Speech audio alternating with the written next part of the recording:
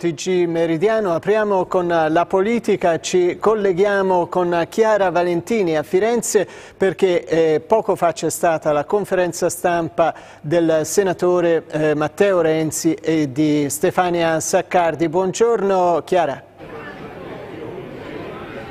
Sì, buongiorno Patrizio, una conferenza stampa molto partecipata anche da semplici eh, cittadini perché lo possiamo dire ufficialmente, Stefania Saccardi è candidata a sindaco di Firenze per Italia Viva. Ci sono state diverse bordate da parte del senatore Renzi anche e soprattutto al Partito Democratico per aver rinunciato alle primarie. Chi è forte in città non ha paura delle primarie, il PD non dice no a Italia Viva ma a se stesso, ha detto Renzi. Noi siamo pronti il 3 marzo a fare le primarie civiche di centrosinistra. Chi vince governa, chi perde dà una mano a chi vince. Altrimenti noi il 9 giugno ci presentiamo con Stefania Saccardi per Firenze. È già attivo un sito proprio con questa eh, dicitura. Ha detto Renzi, gli, gli altri sono specialisti dei veti, noi stiamo specialisti dei voti. Il riferimento chiaramente è al veto posto da sinistra italiana sulla entrata di Italia Viva in una possibile alleanza con il Partito Democratico. Un veto che però proprio ai microfoni di Toscana TV poi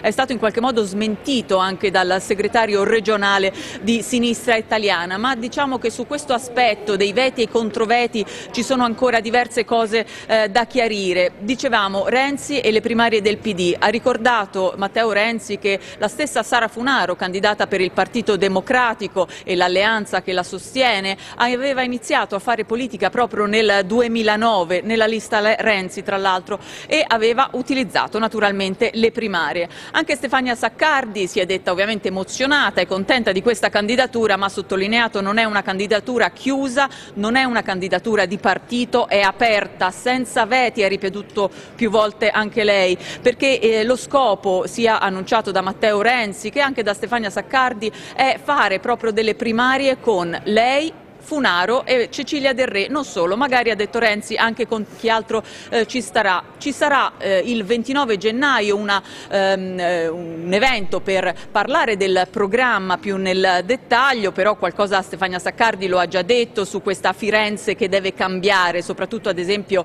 eh, sul tema stadio, vogliamo che i soldi pubblici non siano utilizzati per lo stadio ma per le case eh, popolari, ma anche eh, fatto una sorta di già proposta concreta, ad esempio una squadra che si occupa occupi eh, delle cascine. Mm, si apre naturalmente il tema di cui si è parlato molto anche in questi giorni del futuro di Stefania Saccardi ehm, in regione. Questo è un tema che sia Matteo Renzi che Stefania Saccardi rimandano assolutamente al PD.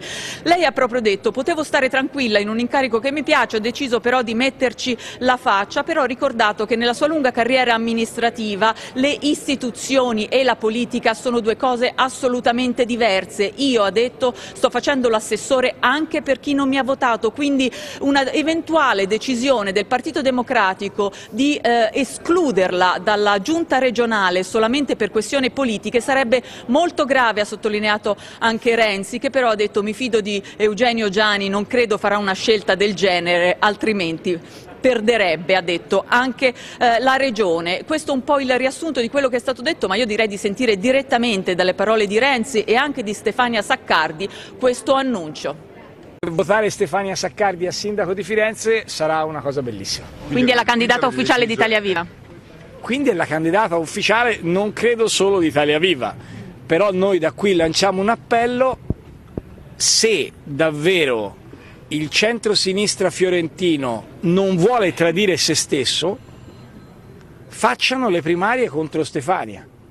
Faccia le, le primarie Cecilia Del Re, che aveva chiesto le primarie due mesi fa, ma io rivolgo un appello, visto che lei ha iniziato a far politica con la lista Renzi, anche a Sara Funaro. Nel 2009 furono le primarie a permettere a gente come Sara di avvicinarsi alla politica quindi io sogno le primarie a primavera tra Saccardi, Del Re, Funaro e chi poi vuol venire venga.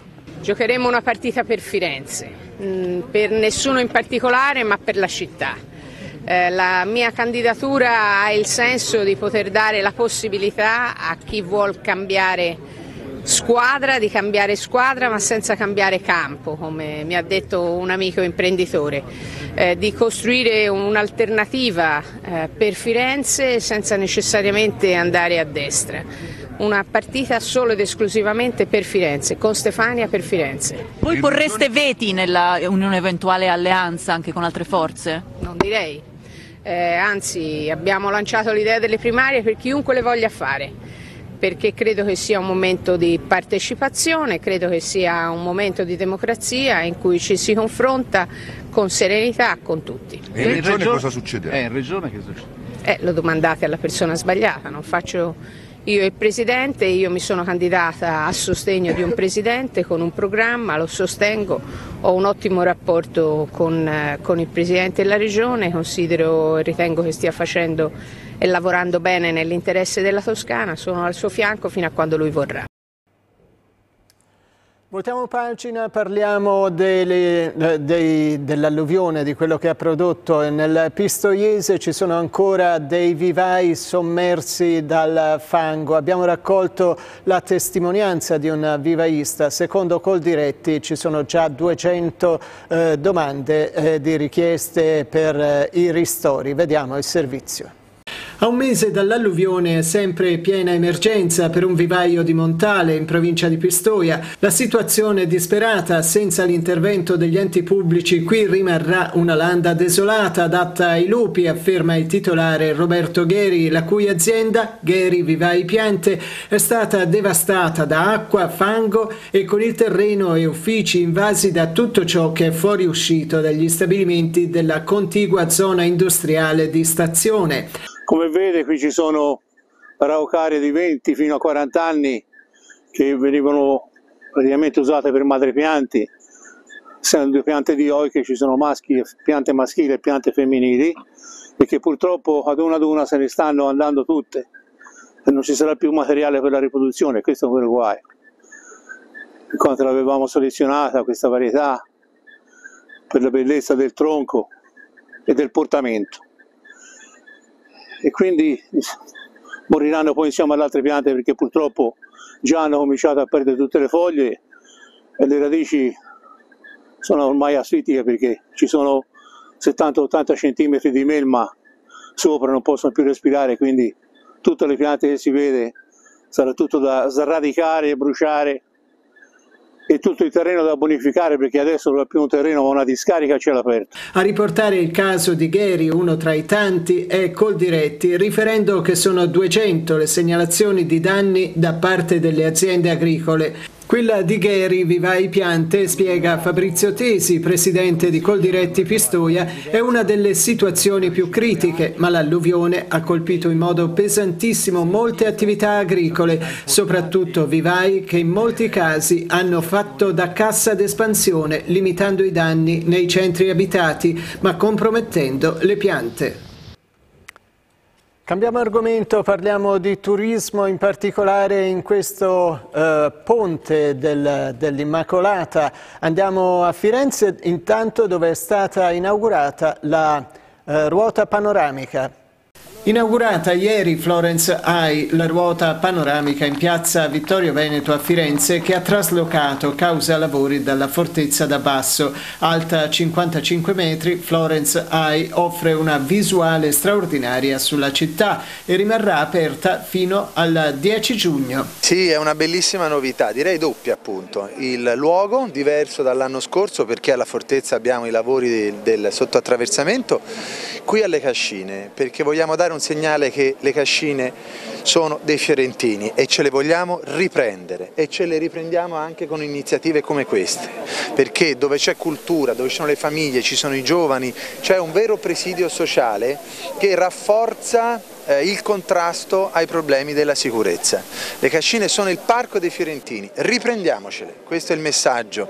E poi l'altra novità appunto è che questa ruota rimarrà per molto tempo, fino a giugno, eh, come abbiamo deciso insieme alla soprintendente Ranaldi che voglio ringraziare, anche il sottosegretario Sgarbi che addirittura era per tenerla sempre, ma insomma intanto facciamo progressi, visto il successo dei due anni precedenti, sicuramente avere eh, per tutto questo tempo le cascine sarà un modo modo anche per attrarre turisti fuori dal quadrilatero romano del centro storico e, e quindi spalmare i flussi turistici anche fuori dalle diciamo, aree tradizionali della città. Un buon auspicio per un parco delle Cascine più vivibile frequentato anche da bambini e famiglie, ha detto il governatore toscano Eugenio Giani, anche lui presente all'inaugurazione insieme agli assessori comunali Sara Funaro, Giovanni Bettarini, Benedetta Albanese e Federico Gianassi. Sicuramente è un modo per contrastare quello che può essere un elemento di richiesta di maggiore sicurezza nell'area delle cascine, ma poi è anche il modo per vivere Natale, le festività con un punto d'aggregazione che sia eh, da un lato vicino al centro storico ma dall'altro non sia elemento per ingolfare il centro storico. E ora appunto vediamo come stanno andando le presenze a Firenze. Non è un ponte sold out questo dell'Immacolata, nemmeno nelle città d'arte. Per l'8 dicembre l'andamento del settore turistico registra un dato di assoluta stabilità della domanda, fa sapere Confesercenti Toscana. La tendenza rimane comunque positiva nonostante l'inflazione, in particolare nelle città d'arte dove il tasso di occupazione media delle strutture ricettive è dell'80%. Tassi altrettanto elevati risultano anche per le località rurali e termali, dove la saturazione media sale rispettivamente all'81 e all'80%. In crescita sono soprattutto gli italiani che si muovono di più nelle festività infrasettimanali. Nel complesso il segnale di tenuta importante che danno i numeri del weekend lungo dell'Immacolata fanno ben sperare anche per il periodo delle feste natalizie, sottolinea Nico Gronchi, presidente di Confesercenti Toscana. Anche se in questo momento di grande incertezza il grosso delle prenotazioni avverrà last minute, i segnali per il Natale 2023 sono positivi. Il 25 e 26 dicembre le persone tendono a stare in famiglia, aggiunge Francesco Becchi, Federalberghi Firenze. Il boom è atteso dopo il 27, fino più o meno alla Befana. È un copione che si ripete. Le presenze attese confermano comunque il buon andamento del 2023. Bene anche alla Betone in tutto il comprensorio sciistico dove appunto ci sono eh, tante presenze ma anche code alle, alle biglietterie degli ski pass. Vediamo. Piste prese d'assalto sia ieri che oggi nel comprensorio sciistico di Abetone Val di Luce. Anche oggi, già di prima mattina, spiega Andrea Formento, presidente nazionale di Federfuni e direttore della società Val di Luce SPA, si sono formate lunghe code sia alle biglietterie sia agli impianti di risalita. La giornata è splendida, la neve è buona e compatta, la temperatura è gradevole ma anche sufficientemente fredda per poter proseguire con l'innevamento allevamento programmato. Il ponte dell'Immacolata sta dunque confermando e anche superando le aspettative degli operatori che erano comunque ottimistiche. Le prenotazioni proseguono anche nei prossimi giorni, aggiunge Formento, riceviamo tantissime telefonate anche per i prossimi giorni. Il fatto poi di vedere anche dalla città le nostre montagne così bene imbiancate è la nostra migliore cartolina. Ci sono tutte le condizioni per poter sperare in una buona stagione invernale che ci faccia in qualche modo dimenticare quella dello scorso anno, quando la neve arrivò soltanto a metà gennaio. Gli impianti sono praticamente tutti aperti, afferma Giampiero Danti, direttore generale della società Betone Funivie. Le nostre maestranze, oltre 60 persone, si sono date un grande affare in questi giorni che hanno preceduto l'apertura degli impianti e l'avvio di questo ponte festivo. Il risultato è molto molto buono, le piste sono perfette e gli appassionati di sci e degli altri sport invernali sono arrivati numerosi. E ora spostiamoci a Grosseto, festa per l'accensione dell'albero di Natale. Vediamo. Con l'8 dicembre l'area natalizia irrompe con tutto il suo carico di magia e anche a Grosseto il comune, con tanto di sindaco e giunta al completo, ha dato il via all'accensione di vari alberi, il primo dei quali in piazza Duomo caratterizzato da una struttura composta da grosse palle in metallo percorse da luminarie. Quindi l'accensione di un altro in piazza del Sale per chiudere in piazza Rosselli con un albero ricavato al centro della fontana che la domina davanti al palazzo della prefettura. Ufficialmente parte il Natale, eh, un Natale piovoso, quindi fortunato, quindi auguro a tutti veramente di realizzare i propri sogni, di trovare un po' di spazio, di tempo per, da dedicare alla propria famiglia in un mondo sempre più frenetico dove i valori appunto e gli assetti familiari sempre di più risentono di questa freneticità.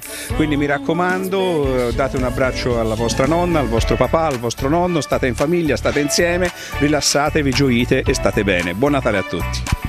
Come sempre c'è qualcuno che critica l'albero dell'amministrazione comunale, questa volta con le palle. Finalmente un albero con le palle, no? Comunque tanto chi critica c'è sempre, eh, da sindaco ho imparato a farmi scivolare le critiche addosso, il bello è il Natale, bisognerebbe che le persone imparassero a guardare il bicchiere mezzo pieno e soprattutto a riconoscersi quei valori tradizionali fondamentali, fondanti della nostra società che il Natale rappresenta, a prescindere dagli alberi, dai regali, da tutto il resto. Questo è l'auspicio che io faccio, ritrovate voi stessi, ritrovate i veri valori dello stare insieme, della famiglia e dell'amore. Rimaniamo a Grosseto per un'altra attrazione, il villaggio di Babbo Natale con tante iniziative. Vediamo. Se vuoi visitare la vera casa di Babbo Natale, l'appuntamento obbligato è a Grosseto con la terza edizione di Alcassio Re Natale. Organizzato dalla istituzione Le Mura del Comune, la novità di quest'anno è la presenza nei sotterranei della fortezza del Grinch, il gatto con il cappello che si aggirerà nel villaggio e farà di tutto per sabotare il Natale. I bambini presenti nella magica piazza del Pozzo dovranno escogitare stratagemmi utili per impedirglielo ma a regalare momenti indimenticabili ci saranno molti altri personaggi, tra cui Aurora, la regina delle nevi, che accoglierà grandi e piccini nel suo bosco ghiacciato per raccontare storie e fiabe fantastiche. Sgambetto, l'elfo maggiordomo di Babbo Natale che vive nella sala della slitta, farà firmare ai bambini il grande libro dei nomi, conservato nella casa di Babbo Natale, che li aspetterà nel suo scintillante salotto per una bella foto ricordo.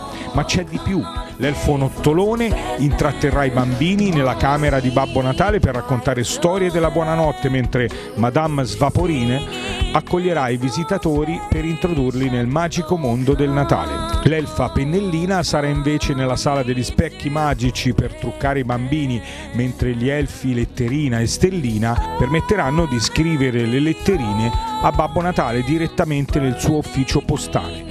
Nell'officina degli elfi invece si effettueranno laboratori natalizi con gli elfi Campanellina e Zuccherina. In alcune giornate speciali sono previsti piccoli spettacoli di magia, mentre in una galleria della fortezza sarà possibile visitare un'esposizione di modelli in cartapesta raffiguranti antichi borghi medievali toscani. È tutto per ora, grazie per essere stati con noi, una buona giornata a tutti.